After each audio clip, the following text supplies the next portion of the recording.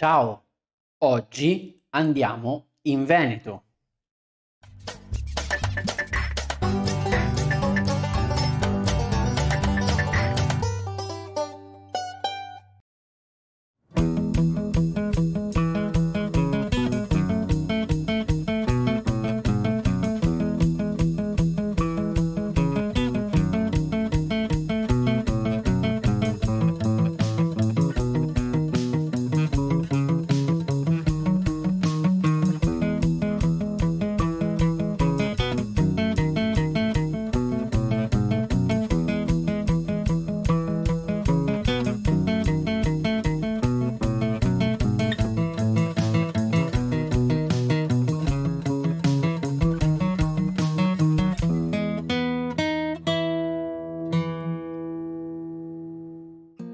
Oggi cominciamo la nostra video ricerca sul Veneto. Io non posso darti in questo video tutte le informazioni, ma un punto di partenza. In descrizione puoi scaricare una scheda che ho preparato apposta per prendere appunti durante questo video, ma anche per eh, essere implementata con altre informazioni che troverai in altre schede, nel tuo libro di testo ma se vuoi anche nei link che troverai sempre in descrizione con altri video, con altri siti per continuare a ricercare sempre più informazioni e metterle insieme nella tua ricerca. Oggi parliamo del Veneto, questa regione che prende proprio il nome dai Veneti, un antico popolo che viveva in questa regione, in queste zone. Allora andiamo a vedere nella nostra cartina dove si trova il Veneto. Sai dirmi dove si trova? Così a occhio? Provaci un attimo. Eccolo qua. E adesso andiamo a vedere i confini. Allora, il Veneto, vediamo subito che a sud confina con l'Emilia Romagna, a ovest confina con Lombardia e Trentino Alto Adige. Il confine con la Lombardia è più a sud, più a nord il confine con il Trentino Alto Adige. Poi nella parte nord confina con una parte di Austria, quindi con un altro stato.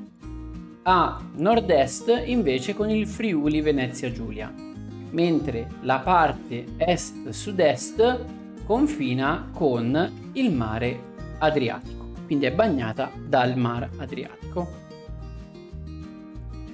Le province abbiamo eh, Venezia, che è anche capoluogo di regione, Belluno, Padova, Rovigo, Treviso, Verona e Vicenza. Parliamo del territorio, quindi in percentuali, che vuol dire dividiamo il territorio in 100 parti uguali distribuendo montagna, collina e pianura. Questo ci aiuta un po' a vedere la formazione del territorio subito. Qui vediamo che abbiamo un 29% di montagna, un 15% di collina, un 56% di pianura. Questo è un dato importante. Avendo già studiato in generale la montagna, la collina e la pianura, adesso da questo dato già puoi immaginarti le attività economiche, il clima che potresti trovare.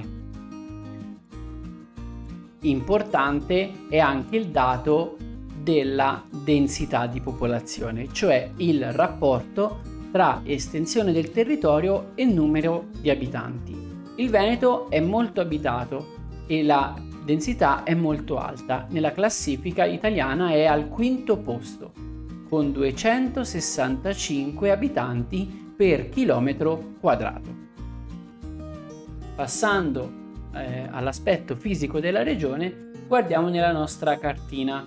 Dalla cartina lo vediamo subito quanto sia prevalente il paesaggio di pianura, della pianura veneta. Abbiamo poi la parte vicino al mare Adriatico con molti fiumi, con la laguna, il delta del Po e questa fascia montana che sale fino all'Austria e una striscia collinare stretta tra le montagne e la pianura.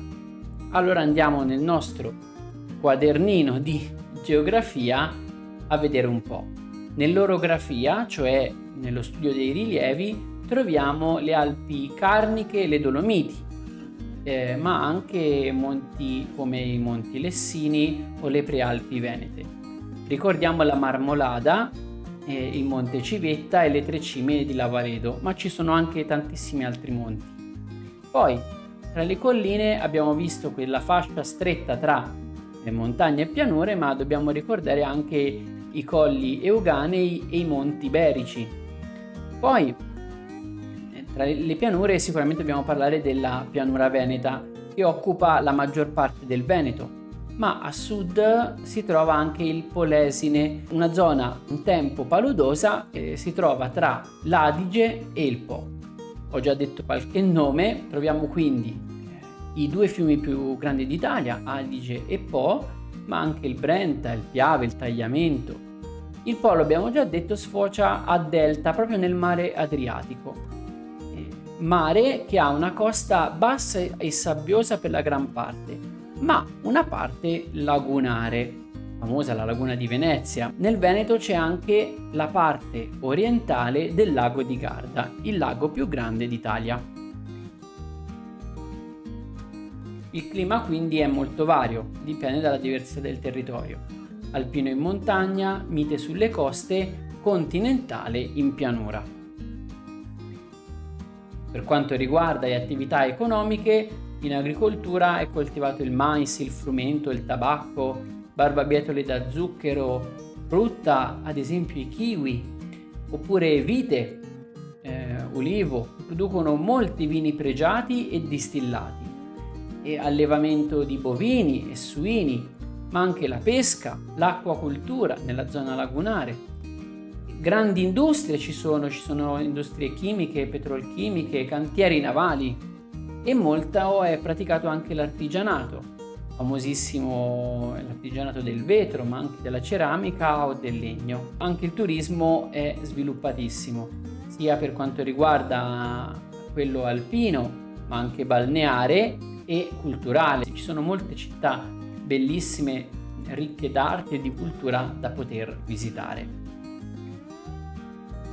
Ovviamente quando si fa una ricerca, si studia qualcosa, bisogna sempre tener conto anche delle altre discipline.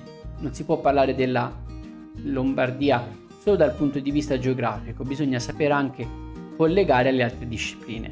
Per quanto riguarda storia, ho pensato di cercare un, un aneddoto una curiosità storica da aggiungere a questa ricerca. Ad esempio, quando i popoli germanici invasero l'impero romano, gli abitanti pensarono di rifugiarsi e vivere in zone lagunari, per difendersi meglio chiaramente. E così nacque la meravigliosa Venezia. Vedi anche come la geografia e il territorio aiuta a sviluppare delle civiltà, delle città, per quanto riguarda scienze, invece, ho cercato uno scienziato una scienziata per ogni regione, dovendo fare una scelta, non potendo prendere tutti. Per quanto riguarda il Veneto, ho pensato a Carlo Rovelli, che è un fisico italiano si occupa anche di divulgazione scientifica, cioè di far conoscere le nuove scoperte alle persone che non sono nell'ambito nel 2019, pensa, è stato nominato tra i 100 pensatori più influenti del mondo. Allora, concludiamo questa ricerca dando la parola ai miei amici veneti, ai quali ho chiesto una videocartolina del Veneto.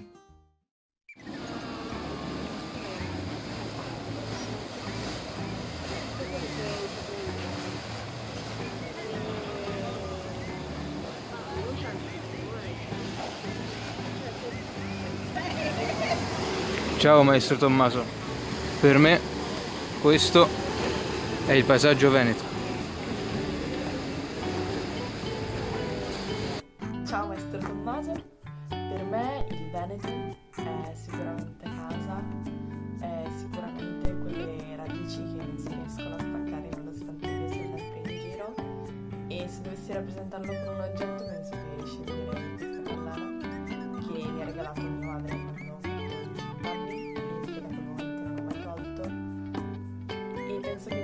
certa che in qualunque posto io sia, quando torno a casa c'è qualcuno pronto ad aspettarmi ed è una bellissima sensazione. Grazie, un bacio. Ciao maestro Tommaso. Per me il Veneto è Villa Almerico Capra, detta La Rotonda. È l'opera più celebre tra le ville di Andrea Palladio. Si trova appena fuori Vicenza.